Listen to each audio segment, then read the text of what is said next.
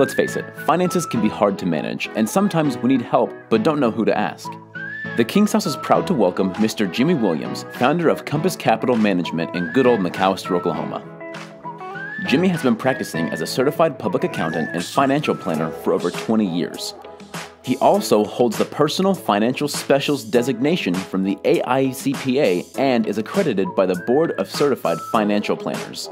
Jimmy was awarded the highest honors bestowed upon an Oklahoma Society of CPAs member, admission into the Accounting Hall of Fame in 2007, and the recipient of the Public Service Award in 2008.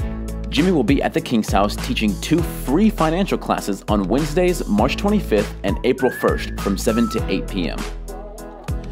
You must register for this event in order to attend. Childcare will be provided for ages birth up to 6th grade upon registration.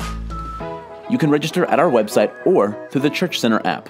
But hurry, registration closes on Monday, March 23rd.